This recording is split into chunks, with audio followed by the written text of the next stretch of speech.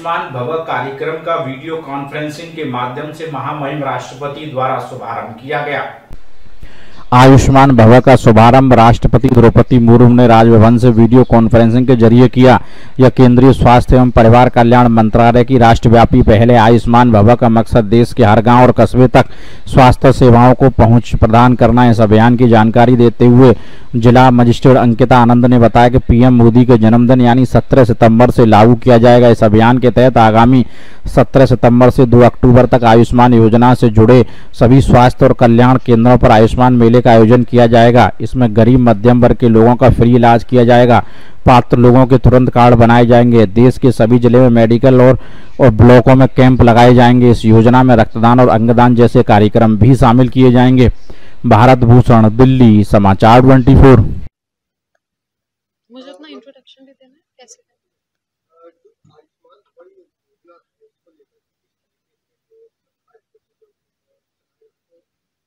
अ,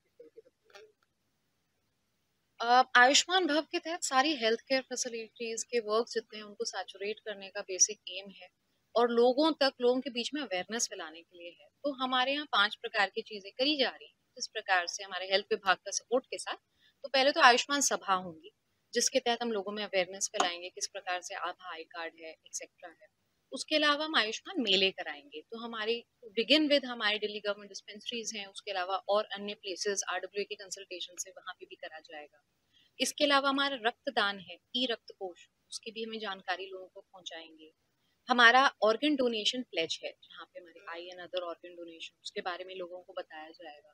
तो इसके around we will be working upon और सत्रह तारीख से भी हमारा बहुत इंटेंसिव ड्राइव शुरू होगा, यानी कि संडे से ही। और लोगों के बीच ये जानकारी आपके माध्यम से प्रिंट मीडिया सोशल मीडिया वो हम पहुंचाते रहेंगे, जिससे लोग उसका बेस्ट पॉसिबल यूज़ करें। और हमारे हेल्थ केयर फैसिलिटीज़ जितनी है, उसको ओवरऑल रिवैम्प हो जाए। जिससे ज़रूरी है फीडबैक। तो लोगों के हम फीडबैक भी लेते रहेंगे समय समय पे और उसको सैचुरेट करने के पूरा भरपूर प्रयास करें।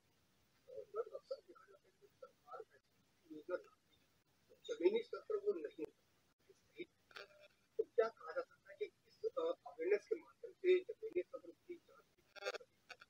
बिल्कुल, आपने ठीक कहा। बहुत मेहनत की ज़रूरत पड़ती है, जहाँ पे प्रशासन अपने जितने जितने भी रिसोर्सेज हैं, उनको फुल पूरा एक्शन में लाके लोगों तक पहुँचाए। क्योंकि लोगों तक इन्फॉर्मेशन पहुँचना बहुत ज़रूरी है। जिसके लिए हम मैक्सिमम पॉसिबल सब प्रकार के मीडिया यूज़ करेंगे और लोगों से फीडबैक भी लेंगे। क्योंकि ऐसा होता है, कभी किसी अस्पताल में अगर ऐसा लगता है, उनको कोई मेडिसिन कम मिल रही है, समय पे नहीं मिल रही है etcetera they can reach out to us they can reach out to the health CDM office DM office any time जहाँ पे हमारे को करेक्टिव एक्शन लेने में ज़्यादा हेल्पफुल हैं।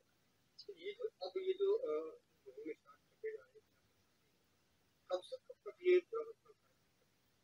सो so, uh, अभी तो सत्रह तारीख से जैसे कि मैंने कहा शुरू हो रहा है इंटेंसिव ड्राइव इट्स जब तक सैचुरेट ना हो जाए टारगेट तो यही है कि अभी दो अक्टूबर तक तो हमारे कैंप्स एक्सेट्रा वो सब का होगा. सब्सिक्वेंट जो डायरेक्शंस आएँगे हेल्थ uh, विभाग से वो हम uh, उसको फॉलो करेंगे. DMs across Delhi they will make an intensive drive जिससे हेल्थ जो कि ना केवल हमारा हम जो डिज़ीज़ दिखते हैं उसके अलावा नॉन